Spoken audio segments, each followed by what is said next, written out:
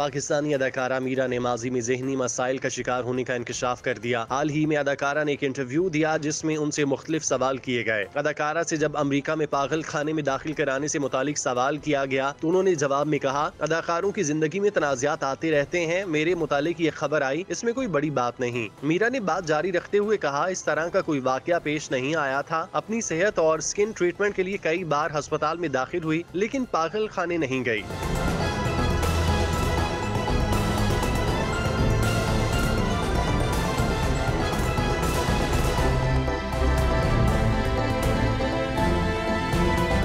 जहनी सेहत के मसाइल होते हैं मुझे, हम सबको ही हैं। उन्होंने मजीद कहा, ऐसी खबरें आ जाती हैं, मीडिया का भी कोई कसूर नहीं। इसके अलावा अदाकारा से मेजबान ने सवाल किया, आपकी इंग्लिश का मज़ाक उड़ाया जाता है तो क्या आपसे सच में गलतियाँ होती हैं? या आप जानबूझकर मज़ाक के लिए गलत इंग्लिश बोलती हैं। जवाब में मीरा ने मुस्कुराते हुए कहा, आप भूल गए हैं, शायद मैं एक अदाकारा हूँ। सालाना कमाई से मुतालिक सवाल पूछने पर मीरा ने कहा, मैं बहुत ज़्यादा पैसे लेती हूँ, क्योंकि काम बहुत अच्छा करती हूँ। अलबत्ता अदाकारा ने अदाकारी के अलावा कमाई से मुतालिक बताने से साफ़ इनकार किया।